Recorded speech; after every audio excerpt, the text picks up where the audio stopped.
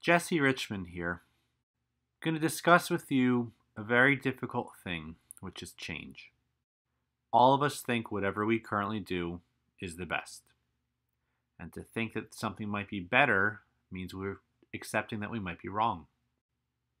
Should we do more than the current monitoring of patients with tests and examination in the office?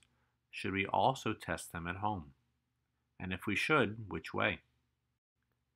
Detecting change is pretty much the basic fundamental thing we do in glaucoma, whether it's to figure out the diagnosis if you're unsure of the diagnosis, or to figure out how fast someone is getting worse, and if so, are we detecting the change properly and accurately so we know how aggressively to treat their glaucoma? Let's have a pretend scenario where you're monitoring a patient with glaucoma with one of two different types of tests and their eye will get worse, their glaucoma will get worse in August. For the first option, test A, test A is scored out of 100. It is the more precise of the two tests. If you were to test a patient and then test them again on the same exact day, almost always their test scores will be within five points of each other. You use this test to monitor the patient two to three times a year in the office. So the first time you had the patient take the test, it was in January, and they scored an 85, which is a good baseline. We now know about how well they're going to do. A few months later, we have them take the test again, and at that point, they score an 86, and you're feeling pretty good. Their score is pretty similar to the prior. You think that they're stable. You have them take the test again in December, and now they score an 81, which is lower. But if this was for me, from one of my patients, I wouldn't be sure what to do with that information. It's within the test test re- reproducibility of the test. And did they really get worse? I'm not sure. I'd probably have them come back and take the test again in a few weeks to see as more as a tiebreaker if they're really getting worse or not. Test B is also scored out of 100. It is not as precise a test, its test retest reproducibility is within 7 points of the prior time taking it. But the big difference is that this test, test B, is taken 24 to 36 times a year and it's taken at home. So I would now have the patient take the test in January and I would tell them to take it multiple times. And they would score in this patient an 85, a 77, 83, it's your baseline. There's a little fluctuation, but you get an, an idea of what outliers may be. You take the test again in February, and the scores are in the mid 80s, and you think the patient's stable because they're pretty similar to the prior ones. In March, the patient takes it twice. You'll notice just the volume of tests, the volume of data. It lets you be much more confident whether or not someone's changing or if they're stable. In April, they were still stable when it comes time for the next test in in May, where scores are still in the mid 80s. And at this point, you're also getting a good feel of how much someone's patient will fluctuate with their test results. Are they more or less precise than other people? Now we're into July, and our test results are still in the mid 80s. There's a little fluctuation, but in August, the scores are worse. Now, is this beyond the test test reproducibility of the of the test? Technically, no. But when you repeat it again in September and they do poorly again in September, you can be much more confident that real change is occurring. Now, for me, I would have identified this about a month late, but this is a much better scenario than in test A when it was in December and I still hadn't identified and I told them to come back again and take it again to really be confident whether or not someone's truly stable or changing. The real value in home testing is the amount of data that can be obtained. If you can imagine, there would be no patient who, in their right mind, would come to your office three times a month, two times a month to take a visual field test. But you can ask a patient to do that type of, get that much information if they take it at home, whether it's with a home type of visual field or a home test like the one I'm about to speak about called SPARCS. But the amount of data is the real key thing, which lets you be much more confident in detecting change earlier potentially with home testing. Now, I don't anticipate home monitoring replacing the testing that gets done at traditional office visits. I look at home monitoring as a supplement, additional information uh, to what we accomplish typically in the office.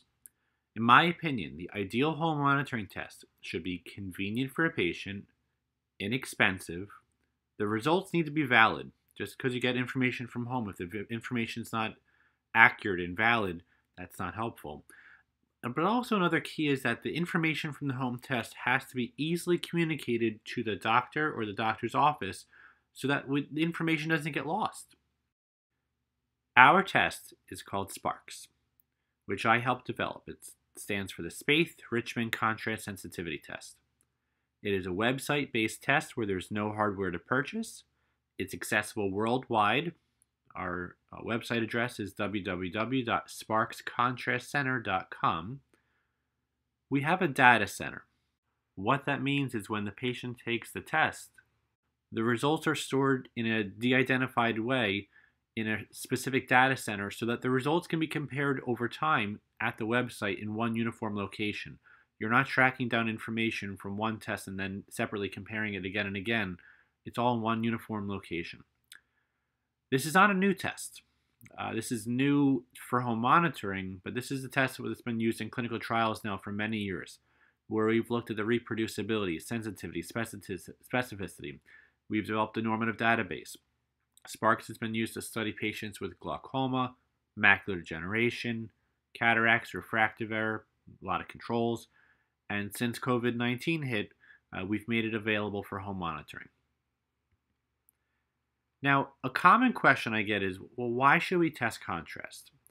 And as many of you know, contrast sensitivity testing is rarely tested outside of clinical trials.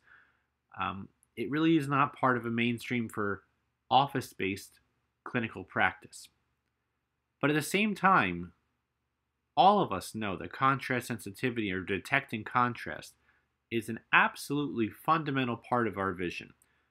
I mean, the ability to distinguish an object from its background is pretty much a basic aspect of vision, which is incredibly important. The reason we really developed this comes from a trial that we did many years ago where we took glaucoma patients and evaluated how well they could do daily tasks that were related to vision. We didn't ask them how well they could do it, we tested them. So we tested someone's reading ability, and they were graded and they got a score. Where we uh, graded their ability to recognize facial expressions, or detect motion, or how well they could read signs accurately. And you can see the list.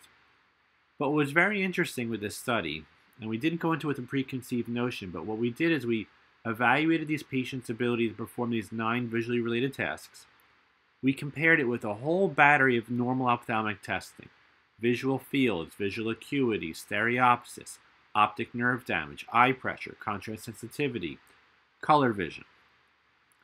And to our surprise, in glaucoma patients, contrast sensitivity was a better predictor of someone's ability in real life than visual field. You now have some degree of a background as to why we developed this test, but I'm now going to show you a clip from an instructional video we have that actually explains the test and how it's truly used. The test itself establishes a patient's contrast sensitivity both centrally and peripherally. The test is performed one eye at a time, and there should be normal lighting in the room without glare. Patients should take SPARCS in as similar surroundings as possible each time so that the results can be compared over time. Let's actually take the test. So I'm taking it for my left eye, so I'm covering my right side. And on the screen, vertical contrast gratings will appear in one of the tested areas. So I have to move the mouse to that area, click it, and then all of a sudden, the next thing that appears is says click in the middle. So I move the mouse back to the middle and I click that button. And that tells the test that I'm ready to see the next image. Then I next move the mouse over to that area, and the pattern just continues. And basically what's happening is in each area of the screen that gets tested, contrast gratings will gradually get more and more challenging to establish threshold values. The values are determined using a bracketing technique with reversals to really get a very accurate result in these different areas. As the test goes on, it does get more and more challenging.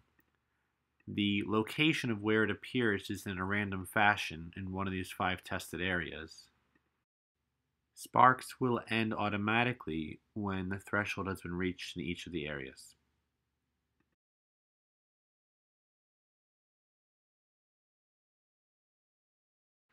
So I scored a 92 on this test. And this is what a patient would see when they finish. It shows which eye took the test, what their score was that time. It allows you to compare to the last time you took the test. It shows you your average, it shows your best. Now, for you, the physician, you have the ability to log into the website and see your patient's results, but you also have the ability to have the website automatically email you. If someone takes the test and then does well for a while, but at some point along the way, they're taking the test and they do worse. The way we have it set up is that the physician has the option with a certain setting of making it so that the website would do an automatic email if the patient does significantly worse. So here's an example of how it would look. This is a patient um, of mine, a, fa- a fake patient, but it says that the patient did much worse compared to prior ones. And if I got an email like this, it's really a good clue that you need to see the patient much quicker, at least maybe have the patient take the test again and see if it's a real change or if it's just variability. But this is really helpful with figuring out identifying is this person changing that maybe we wouldn't have detected otherwise if they weren't doing home testing. Now, when we first developed SPARCS, we originally started off with 10 levels of contrast testing. And when we did in some pilot studies, what we realized is the vast majority of people were getting similar scores of what they're the best that they see, their thresholds. And it was not differentiating well between diseased glaucoma and controls, as a lot of people's threshold values at the time were at level 7. So what we did is we added more levels to the test to better differentiate people's thresholds, and we also extended it to get the full range of testing to get the log values between 0 and 2.35 to a total of 17 levels that are tested. And by doing this also, we decrease the step size between different intervals of the, of the contrast levels, especially narrowing right around the area where most people's thresholds were. Now, the way the scores are set up is that log based score is then converted into a score out of 20, making each area tested a possible having a possible score of 0 through 20, which makes a cumulative score out of 100. In our normative database, a score of 90 is in the 92nd percentile. A score of 80 is in the 40th percentile. A score of 70 is in the 9th percentile. And the score of 70 is a very important number because that's often a big differentiator where you start to get worried about disease versus having someone's eye who is healthy. Now, those were the values for the entire population of our normative database study. But what you can look at very clearly here is that age matters also. And as someone gets older, their contrast scores tend to get lower. So if someone was 20 years old and they scored in the 70s, that might be a real issue. But if someone's 80 years old and they score in the 70s, they still might be fine. Age matters on the scores. Repeatability is also quite important. I touched on earlier in that example in the very beginning about test, retest repeatability. You want to know how accurate a test is. And so the coefficient of repeatability is trying to say, all right, if someone took the test and then took it again in the same exact day, how closely related were their scores be? In our various studies, in one of the ones that I published, the one at the top, in the glaucoma patients, the scores were plus or minus 6.7 in glaucoma, plus or minus 5.6 in controls. In a study out of with controls out of a colleague, uh, Dr. Gupta, a plus or minus about 10. Another one that she published about plus or minus plus 10. And another one out of India, which had an average of about plus or minus 6. Since then, and this is not published, but I have reviewed my patients, um, their reproducibility of home testing. And I looked at my 80 patients that have, um, when I looked at this, which was uh, about after about four months of data um, with those patients. And the coefficient of repeatability uh, of my patients when I've tested them at home when looking at the total score was about plus or minus seven points, which is pretty close to the reproducibility of when I had my patients tested in a very standard clinical setting uh, where there was a research uh, research co coordinator supervising versus just home testing with the patient doing it on their own. And that's encouraging. I'm now going to start showing you some data from published clinical trials involving SPARCS. When looking at the scores of SPARCS based on different levels of optic nerve damage, when you look at glaucoma patients in the column on the left, they on average score worse than glaucoma suspects, who on average score worse than controls. And you can see that the average numbers at the bottom, 59.4, about 69, about 74, that there's a big change uh, between someone who's got a healthy optic nerve versus someone who does not. But if you look at the glaucoma section at the top, in someone with mild glaucoma with minimal optic nerve damage, they can still score quite well in SPARCS. So there's not an exact number where there's a cutoff of definitive disease versus healthy. There can be overlap with a healthy eye if someone has mild disease. Here is another study that has been published looking at very similar things, uh, where compared glaucoma patients, people who had optic nerve uh, possible optic nerve changes but not definite glaucoma and controls. And looked at the total spark score. It showed very nicely that people with a unhealthier optic nerve score worse than someone with a healthy optic nerve. And it really differentiates the groups quite well and statistically. And you can see the averages at the bottom very much differentiating these groups at the same time, you can see that in the glaucoma patients at the top of the box plot, the people with very mild optic nerve changes, that the overlap still occurs, and that some people with very mild glaucoma damage will score very similar to those who are controls. Here's a nice way of looking at it though. Let's say you had someone with an average size optic nerve, not a big or small one where it can be a little bit different when you look at the cup. And what you'll notice is once you start to get some real thinning, where you look at level 5 on the DDLS scale, where you start scoring below a 70. Remember, that was kind of my magical number where I, in my head, have a differentiation of is it healthy, is it not, where does it start to really get more worried? And the more changes to the optic nerve, the lower the scores. When looking at another study looking at glaucoma patients versus glaucoma suspects versus controls with that magical number for uh, 70 for the total score in SPARCS, it was able to show a sensitivity of 80% and 93% specificity for glaucoma. When looking at the individual areas of the test, if you looked at one of the, the lowest area score in SPARCS. And if someone's lowest score was below 14 in one of those tested areas, the sensitivity for detecting glaucoma was 84% with 85% specificity. A different study using SPARCS when it compared cataract patients versus people with healthy eyes. As you'd expect, those with clear lenses scored better than those with lens opacities, which makes sense. The more lens opacity, the worse the contrast score. And we all have patients with advanced cataracts who say, I have trouble with nighttime driving. And it's not just glare, uh, it's just in general, when there's poor contrast, it's tough to see well. And the more advanced lens changes, the more difficulty someone has.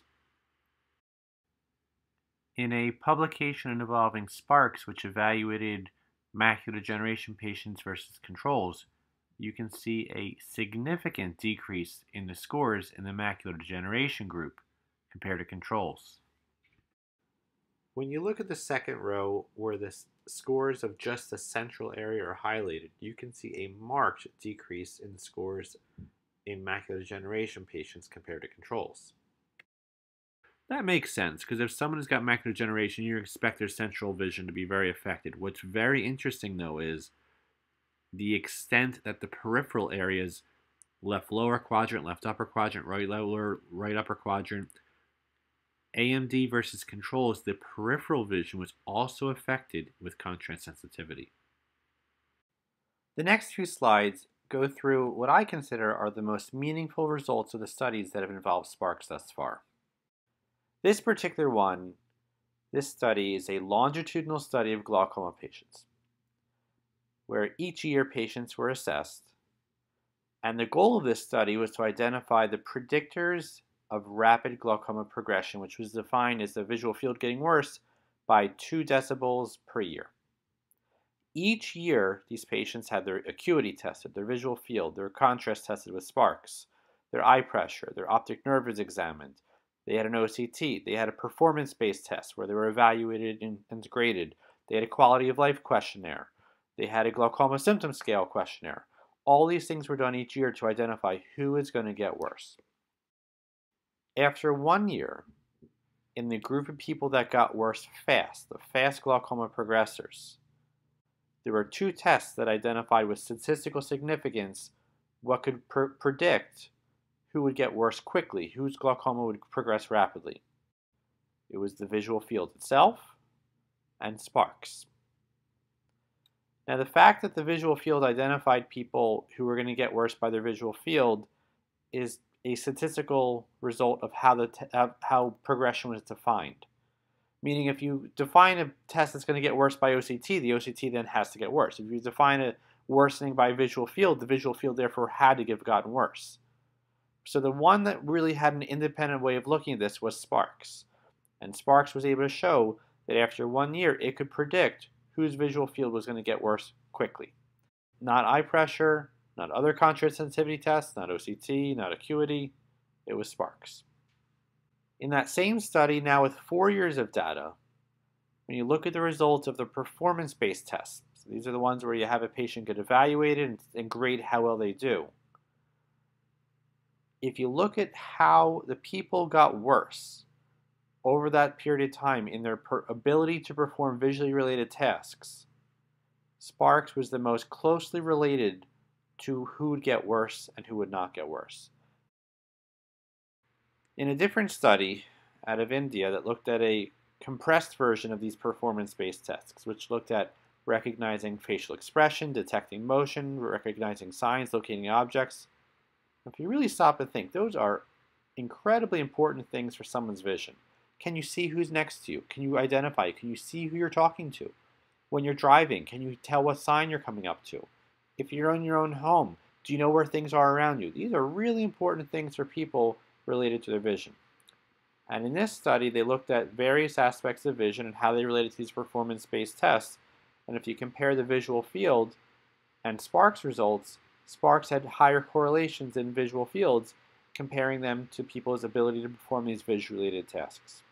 In addition, it also is more closely related to their visual functioning questionnaire.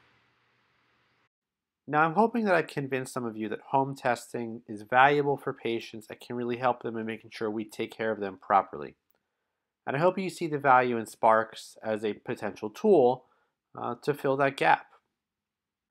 But just because you like something doesn't mean it's actually going to work in your practice. And this is another difficult thing is adjusting how your practice works is important to making sure that anything that you change in your practice is going to be successful.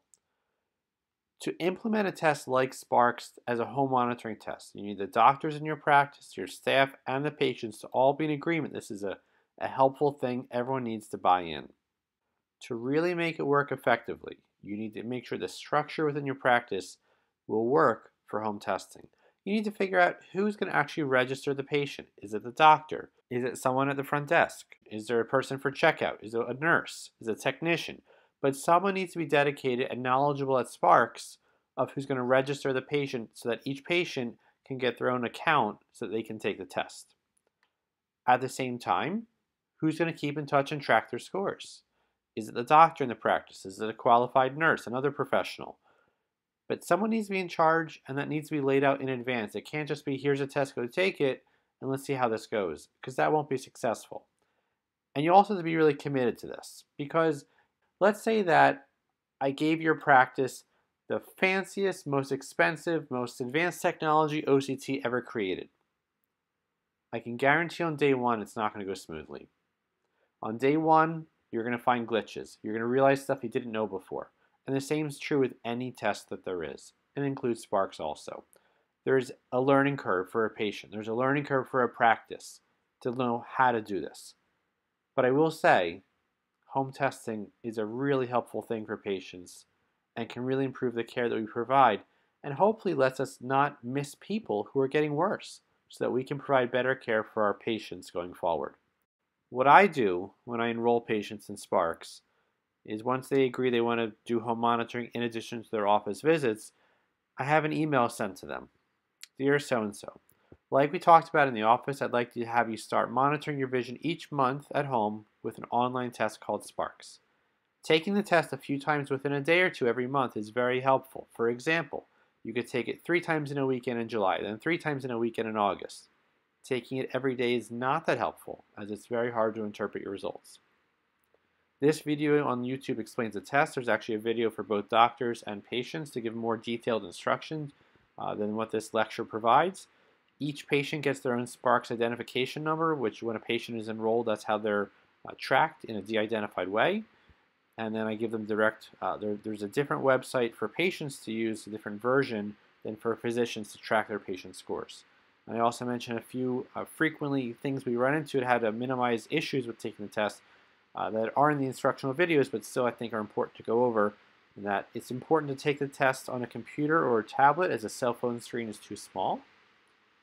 Please keep taking the test until it finishes and shows your score. At the end of the test, the contrast gratings are very dim and they're challenging to see, and people should keep going even if they think even if they think they're guessing uh, to complete the test. And each time you take the test, have the same lighting in the room and use the same computer so that your results over time can be accurately compared. Now, while I'm very enthusiastic on home testing with SPARCS, I'm also aware of the fact that it's not for everybody. And when you enroll patients, you should make sure that they're computer literate and that they're a good patient qualified for monitoring themselves at home. Uh, unfortunately, here's an email I received back after enrolling a patient of mine that I probably should not have. Dr. Richman, tried again, have run out of time. Must leave for three hours. Will attempt again. The question being, is it malfunction of the laptop or me? Usually when something of importance, they didn't even write importance, but when something of importance needs to be done, I go to the library where computers are sound. So it's not for everybody, but there's a high percent of patients who could do this test properly, and it would really enhance the care that you're providing to them. Thank you very much.